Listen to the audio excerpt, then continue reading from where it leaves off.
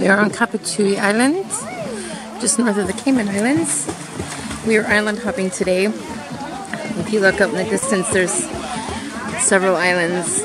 We've hit three of them so far. This is island four. Somebody bleeding over there? The captain, his foot is bleeding. The captain. Yeah. His toe is bleeding. Does he need to? I might have a band-aid. You need a band-aid? Uh, it won't do any good there. Just wrap a paper around it. So I, um, he's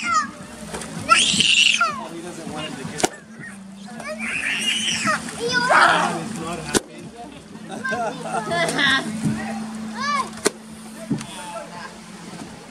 Oh, his papa is yelling at him.